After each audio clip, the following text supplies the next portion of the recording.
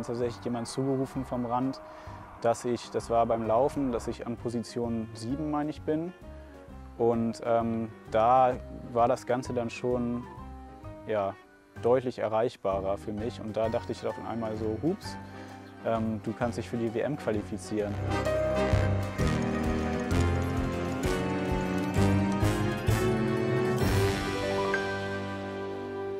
Das erste Mal vom Ironman in Hawaii habe ich ähm, eigentlich durchs Fernsehen natürlich erfahren. Ich weiß jetzt gar nicht mehr, wie lange das her ist. Aber da war es halt noch so, da hatte ich mit Triathlon noch nichts am Hut eigentlich so richtig, außer dass ich das eben so ein bisschen familiär mitbekommen habe, weil mein Vater auch Triathlon macht. Äh, das war eigentlich so der einzige Berührungspunkt. Ähm, aber das ist eben was, was man sich zu dem Zeitpunkt einfach überhaupt nicht vorstellen konnte. Also erstmal diese ganzen Disziplinen einzeln ist schon unfassbar. Also da dachte ich so ähm, vier Kilometer schwimmen oder fast vier Kilometer schwimmen, also eher sterbig. Ähm, das war für mich absolut utopisch und dann nochmal 180 Kilometer Radfahren und dann noch einen Marathon dranhängen. Also das sind einfach Leistungen, die man sich einfach nicht vorstellen kann. Ich habe immer schon ähm, viel Sport gemacht in meiner Kindheit und Jugend und so. Das ist, kam auch so ein bisschen durch meine Eltern, ähm, weil die da auch sehr engagiert waren, ähm, früher auch Leistungssport gemacht haben. Ähm, ich hab, bin geschwommen, wobei auch nur ungerne und irgendwann habe ich es dann halt auch viel äh, früh wieder gelassen. Ähm, dann habe ich Fußball gespielt eine sehr lange Zeit. Ähm, dann habe ich Tennis gespielt, auch eine Zeit lang und Leichtathletik halt vor allem. Ähm, irgendwann ist es dann eben so, dass man sich dann schon entscheiden muss für irgendwas. Äh, ich habe mich dann am Ende für Leichtathletik entschieden und äh, auch im Bereich der Leichtathletik gibt es natürlich sehr viele Disziplinen. Ich habe dann so 3000 bis 10.000 ungefähr immer so gemacht als äh, Wettkampf und ähm, habe das dann teilweise eben auch so ein bisschen leistungssportlich gemacht, ähm, sehr viel trainiert, ähm, hatte dann aber auch viel mit Verletzungen zu kämpfen, also Überlastungsprobleme, mehrere Ermüdungsfrakturen und habe dann eben gemerkt, dass das, ähm, also dann bin ich eben verletzungsbedingt eigentlich so ein bisschen auch sehr zum Radfahren gekommen, habe dann ganz viel auf dem Rad ähm, meine Stunden verbracht und äh, das Letzte, was eben dann irgendwann noch so fehlte, war das Schwimmen was ich eigentlich nie konnte und wo ich auch nie so richtig Spaß dran hatte. Deswegen kam dann Triathlon eigentlich erstmal immer nicht so richtig in Frage. Ähm, bis eigentlich so letztes Jahr im März, da habe ich dann eigentlich so richtig erst angefangen zu schwimmen zu lernen. Ich werde nie der perfekte Schwimmer werden, das wird immer meine schwächste Disziplin bleiben, aber trotzdem ähm, Spaß hatte ich trotzdem irgendwann dann, auch selbst beim Schwimmen.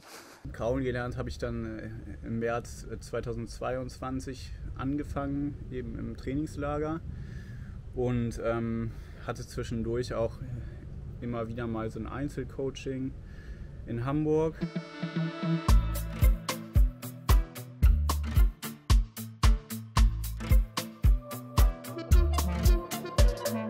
Theoretisch hätte ich tatsächlich ideale Trainingsbedingungen, auch schon ein paar Jahre länger. Äh, wir sind hier bei meinen Eltern ähm, in meiner Heimat sozusagen. Die haben ähm, hier so einen Gegenstrompool im Garten, praktischerweise. Und ähm, das ist auch nicht so allzu weit von Kiel entfernt. Ähm, also wir sind hier in Klein-Rönnau, also dreiviertel Stunde ungefähr von meinem aktuellen Wohnort. Insofern ähm, ja, ähm, ist es eigentlich echt ideal, um hier richtig gut schwimmen zu lernen, beziehungsweise nicht zu lernen, sondern einfach zu trainieren. Sprinten, das kann ich eigentlich vergessen. Äh, wenn ich jetzt bei einem Sprint-Triathlon starten würde, dann äh, würde ich wahrscheinlich aus dem Wasser kommen, wenn die anderen schon alle im Ziel sind. Ähm, deswegen kann ich damit jetzt nicht so viel anfangen. Deswegen habe ich mich dann auch dafür entschieden, gleich als ersten Triathlon die Mitteldistanz zu machen. Das habe ich dann in Duisburg gemacht, letztes Jahr. Und ähm, das war auch, also das war so unfassbar geil. Also ich war so geflasht von dem allen. Das war super Stimmung. Es war geiles Wetter. Die Schwimmstrecke war auch in Ordnung. Ich bin zwar ganz, ganz weit hinten aus dem Wasser gekommen, muss man sagen, aber dann war es halt so, äh, dementsprechend, ich habe halt beim Laufen und beim Radfahren im Anschluss dann insgesamt noch 1000 Leute überholt. Ähm, und das ist natürlich mental eigentlich eine richtig gute Geschichte, weil man halt sobald man aus dem Wasser kommt, eigentlich nur noch überholt. Ich wurde kein einziges Mal überholt, sondern ich habe halt immer nur Kette rechts und Blinker links und dann äh, Vollgas. Und ähm, genau, das hat mir einfach so viel Spaß gemacht, dass ich danach eigentlich äh, für mich feststand, das äh, mache ich weiter. Dann habe ich meine zweite Mitteldistanz im März gemacht jetzt. Das war auf Lanzarote. Also das war, ist natürlich von den Bedingungen her absolut nicht mit zu vergleichen mit so Duisburg oder so, wo es halt einfach nur flach ist und kein Wind und was weiß ich. Also Lanzarote geht schon richtig ab. Aber es war trotzdem richtig geil. Also es hat mir so viel Spaß gemacht wieder. Ich mag eigentlich profilierte Strecken ganz gerne. Ähm, früher, da war ich auch noch ein bisschen leichter, da war es noch ein bisschen besser. Ähm, aber trotzdem, also ich bin mal gespannt, wie das wird. Ich bin jetzt nicht unbedingt, ich komme halt nicht aus dem Radsport, insofern bin ich jetzt auch nicht unbedingt so der Technikprofi bei den Abfahrten. Ja, muss man dann halt mal sehen, wie das wird. Aber ja, ich bin offen für die Herausforderung und habe auf jeden Fall Bock drauf. Ich wollte dann eben schon auch verhältnismäßig schnell auf die Langdistanz und ähm, hatte eben in Deutschland kam eigentlich für mich nur Hamburg in Frage, weil ich die Stadt einfach richtig geil finde und es eben von der Entfernung her jetzt auch nicht so wahnsinnig weit ist, aber ich halt also immer schon richtig Bock hatte, da ähm, zu racen und ähm, nachdem dann eben auch bekannt wurde, dass da eben auch Jan Frodeno und alle möglichen Top-Profis nochmal in den Start gehen, äh, wollte ich mir das halt nicht entgehen lassen. Gerade er hört ja jetzt auch bald auf. Und ähm, insofern bin ich dann da an, die, an den Start gegangen. Das äh, war eben auch wieder ein richtig geiles Erlebnis. Also nochmal eine ganz, ganz andere Nummer als so eine Mitteldistanz. Das ist ja gar nichts dagegen. Ähm, und das lief auch richtig gut. Äh, fast ein bisschen zu gut. Bis Kilometer 21 beim Laufen dachte ich eigentlich, oh, ich rock das Ding hier. Bin natürlich beim Laufen viel zu schnell angegangen. Einen Halbmarathon habe ich noch so einen unter 4 Minuten Schnitt gemacht und bin dann aber total abgeschmiert, also komplett und ähm, habe mich irgendwie nur noch von Verpflegungsstation zu Verpflegungsstation gehangelt und hier Red, links Red Bull, rechts Cola. Das war das Einzige, was mich dann irgendwie noch ins Ziel gerettet hat. Genau, ja, aber insgesamt, also dann gab es noch so ein paar Kleinigkeiten irgendwie in der Wechselzone, wo ich dann irgendwie noch versucht habe, ein Blasenpflaster aufzukleben, was natürlich überhaupt nicht funktioniert hat und ich da irgendwie bestimmt fünf Minuten verschenkt habe. Und ähm, dann war es natürlich auch so, dass insgesamt diese, dieses Rennen in Hamburg irgendwie alles unter dem Schatten von, dem, von diesem tragischen Unfall stand, was natürlich irgendwie alles so ein bisschen getrübt hat, die Laune da. Ähm, nichtsdestotrotz ist es natürlich so, dass ähm, die Einzelleistungen teilweise eben trotzdem echt äh, bewundernswert sind und das ähm, muss man eben trotzdem irgendwie alles anerkennen. So. Am Ende ähm, bin ich dann eben Siebter geworden in meiner Altersklasse und ähm, ich wusste im Ziel erstens nicht, dass ich Siebter geworden bin direkt und ich wusste zweitens auch noch gar nicht, wie viele Plätze es gibt. Und ähm, ja, als mir dann ein Kumpel von mir, der, mich auch angefeuert hat, gesagt hatte, dass es wohl zwölf Plätze gibt und ich mich für die WM qualifiziert habe, bin ich erstmal irgendwie, konnte ich ihm überhaupt nicht glauben. Da dachte ich irgendwie, er verarscht mich und ähm, konnte es überhaupt nicht fassen. Also ähm, das, da, damit hätte ich wirklich nie gerechnet. Auch im Ziel habe ich damit noch nicht gerechnet.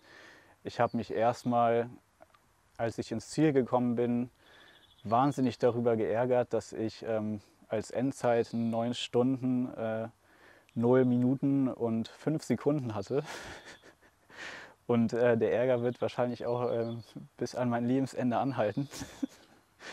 ähm, weil ich hatte tatsächlich auf meiner Uhr auch 8,59,23 stehen und dachte, okay, das wird easy was unter 9 Stunden. Und man sieht ja die Zeiten dann noch nicht so genau, weil das ja ein Rolling Start ist und so. Ähm, und da habe ich mich natürlich erstmal krass drüber geärgert.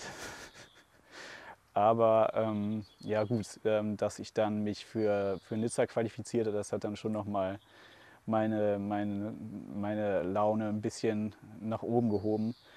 Ähm, und natürlich die Tatsache, dass ich das jetzt einfach so äh, über die Bühne gebracht habe und äh, endlich dann meine erste Langdistanz da gefinisht habe. Also das war natürlich ähm, gefühlsmäßig ein, ein, absolutes Hoch. Als ich erfahren habe, dass die WM jetzt für die Männer nicht auf Hawaii, sondern das erste Mal eben Nizza stattfindet, fand ich erstmal grundsätzlich, unabhängig davon, ob ich mir vorstellen konnte, dass ich mich jetzt dafür qualifiziere, einfach sehr, sehr ja, schade, um es mal so auszudrücken, weil das ja irgendwie immer dieser Mythos war. Ähm, es drehte sich eigentlich alles ja irgendwie immer um Hawaii.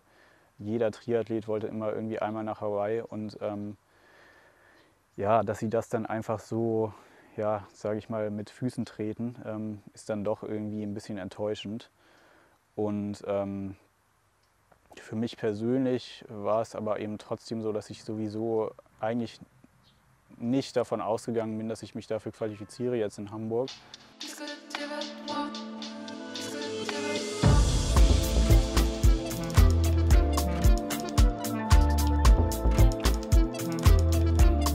Dann ist eben die Überlegung, ob ich diesen Startplatz dann auch annehme. Und ähm, ich hatte mich in, in völliger ähm, Übermotivation halt äh, eine Woche vorher gleich nochmal für zwei weitere Rennen im Jahr angemeldet. Ähm, und äh, das eine Rennen war Duisburg 73. Ähm, und das zweite Rennen war der Ironman in Italien, der einfach eine Woche später nach Nizza stattfindet, weil ich eben auch überhaupt nicht damit gerechnet habe, dass ich mich da äh, qualifiziere.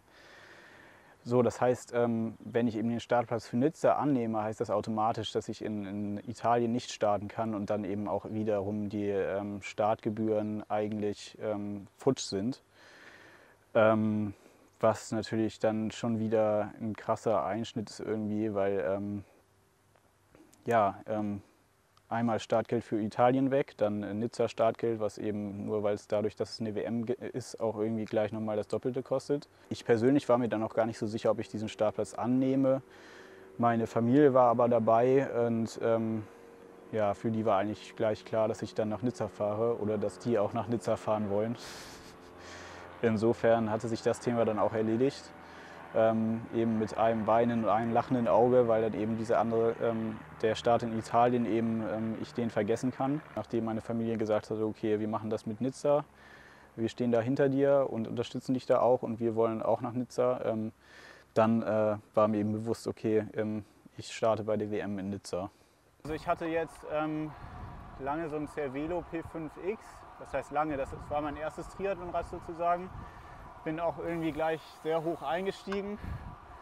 Ähm, das hatte ich jetzt äh, ungefähr ein Jahr, hatte aber irgendwie ja, schon immer so ein bisschen auf Canyon geschielt. Ich weiß auch nicht wieso, also wahrscheinlich liegt es an Frodeno. Ähm, und es ist inzwischen ja ein totaler Mainstream geworden.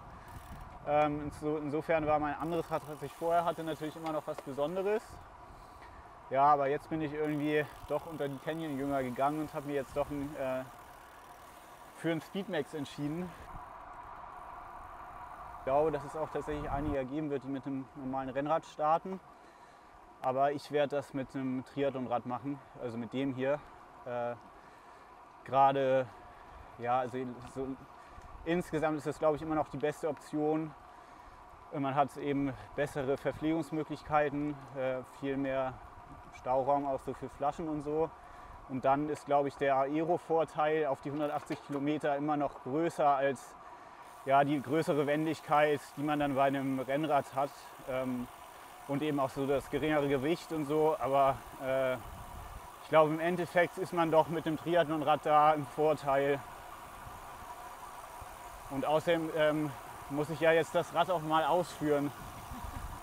In Kiel hat man jetzt nicht so viele Berge, das heißt, da äh, fällt das Profil dann weg, aber gerade so Intervalle und so, ähm, die mache ich sowieso oft auch ähm, stationär eben auf dem Zuhause und nicht ähm, unbedingt in der freien Wildbahn, weil man das doch ein bisschen kontrollierter machen kann.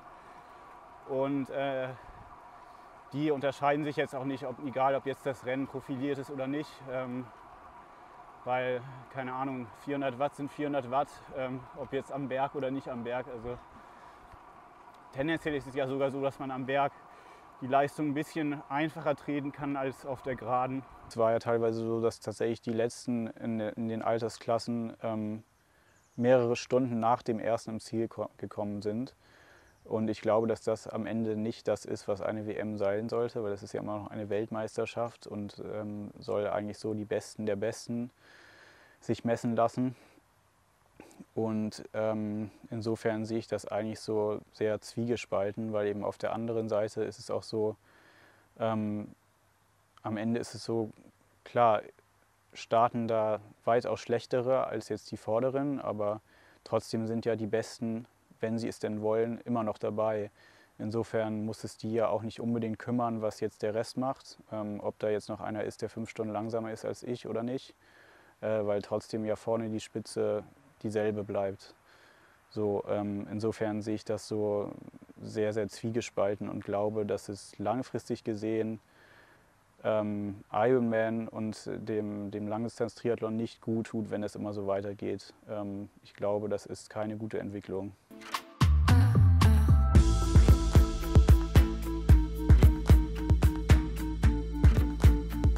Ich habe mich tatsächlich noch gar nicht mit der Altersklasse beschäftigt, also mit den Leuten, die da starten bei mir in Nizza. Ähm, einfach weil ich das noch so ein bisschen ausblenden wollte und mich ein bisschen auf mich konzentrieren wollte. Irgendwann werde ich mich sicher noch mit meinen Konkurrenten sozusagen beschäftigen. Aber ich will das eigentlich so weit wie möglich rauszögern, weil es bei mir sicher eher zu mehr Nervosität und Anspannung führt als umgekehrt. Ähm, insofern will ich, solange es geht, mich eigentlich noch auf mich fokussieren, gucken einfach, was geht, weil äh, ich sowieso sehr ehrgeizig bin und jetzt nicht unbedingt den Ansporn brauche, wenn ich sehe, okay, keine Ahnung, der ähm, schafft eine 8,30 oder so, ähm, dann hilft mir das jetzt nicht unbedingt weiter oder spornt mich irgendwie noch mehr an.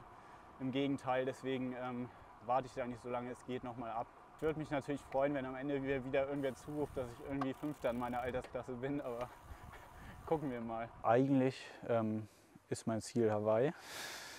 Ähm, insofern, also ich würde eigentlich eben gerne wenigstens einmal noch nach, nach Hawaii fliegen.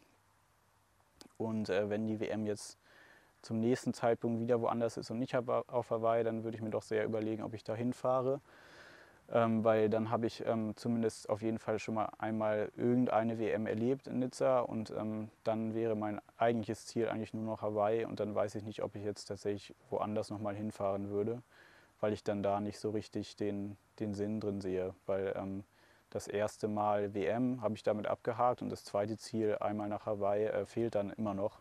Insofern ähm, würde ich dann wahrscheinlich den, den Reise- und Kostenaufwand dann doch äh, mir einsparen und ähm, mich lieber auf Hawaii fokussieren. Mein Ziel in Nizza ist auf jeden Fall erstmal gesund an der Startlinie stehen. Trotzdem ist es natürlich so, dass ich jetzt ähm, von meiner Persönlichkeit her jetzt nicht jemand bin, der sagt so, ähm, ich gehe da hin und ähm, guck mal und äh, freue mich irgendwie, wenn ich da irgendwie durchkomme und genieße die Stimmung und äh, notfalls gehe ich den Marathon zu Ende. Ähm, wenn es dann gezwungenermaßen so sein muss, okay, aber eigentlich will ich da schon doch nochmal ähm, meine körperlichen Limits irgendwie ausreizen und äh, alles geben und irgendwie die bestmögliche Zeit hinlegen, die dann eben mein, ähm, meine physiologische und gesundheitliche Situation dazu lässt. Und ähm, dann doch äh, gerne so weit vorne wie möglich dann eben dabei sein.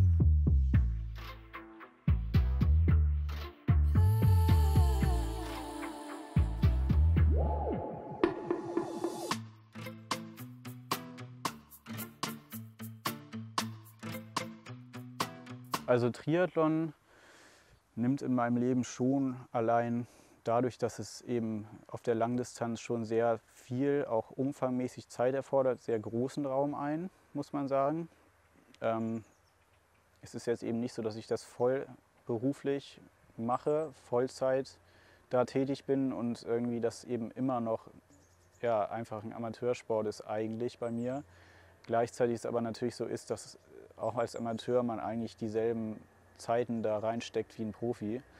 Mit dem einzigen Unterschied, dass man eben als Profi irgendwie das, das Einzige ist, was man tut und man sich irgendwie den Rest des Tages auf die faule Haut legen kann, so ungefähr, und sich irgendwie vom Physio bearbeiten lassen kann.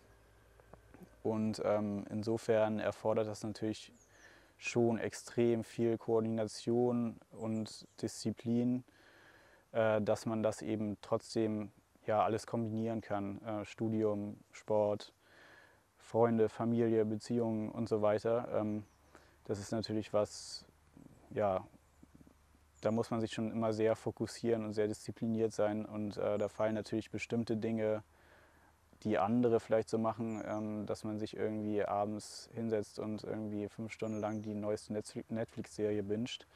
Äh, das fällt dann eben schon mal weg. Ähm, das ist aber auch tatsächlich nichts, was ich irgendwie so vermisse. Ähm, mir gibt das einfach unheimlich viel, deswegen stecke ich da auch gerne Zeit rein in den Sport. Ich mache gerne irgendwie Intervalle, VO2 Max oder so. Ähm, ich schieße mich halt gerne ab und äh, das gibt mir halt gut die Gelegenheit dazu, weil ähm, ansonsten halt auch beim Laufen, aber da kommen halt immer aktuell auch so orthopädische Probleme dazu. Das heißt, äh, da muss ich immer noch so ein bisschen vorsichtig sein. Äh, wenn das gut geht, dann mache ich auch gerne beim Laufen Intervalle. Ähm, Schwimmen kommt auf jeden Fall als letztes, wo mir das inzwischen auch deutlich mehr Spaß macht als früher. Also ich äh, projiziere eigentlich genau das Trainingsprogramm, was ich jetzt auch irgendwo in der Halle schwimmen würde. Das heißt, ich schwimme ja auch ganz normal Intervalle, ähm, rechne das Ganze dann immer so bis runter. Man kann da Prozente eingeben, hat dann theoretisch auch gewisse Geschwindigkeitswerte, dass das eben darstellen soll. Das ist aber nicht so ganz genau.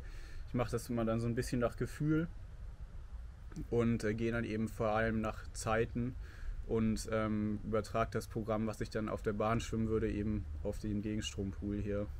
Man muss eben immer schauen, dass man eben vernünftig priorisiert und äh, sich auf die Sachen fokussiert, die wirklich dann Erfolg bringen, beziehungsweise dann auch, dass die Ergebnisse bringen, also sowohl im Training als auch äh, im Bereich jetzt von Studium, Arbeit, ähm, Familie, Freunde, Beziehungen, sowas. Es trägt aber, glaube ich, auch unheimlich viel einfach zur Persönlichkeitsentwicklung bei. Ähm, es führt einfach dazu, dass man sehr, sehr viel ähm, besser mit äh, schwierigen Situationen umgehen kann.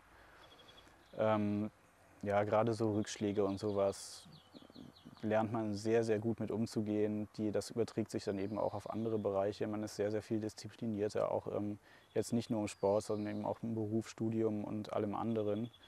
Ähm, insofern ist das, glaube ich, sehr, sehr gut investierte Zeit und äh, ich könnte mir nicht vorstellen, ähm, meine Zeit irgendwie, ja, also besser zu investieren, so langfristig. Solange man die Zeit eben hat und es irgendwie äh, koordinieren kann, ähm, ja, würde ich das immer wieder so machen.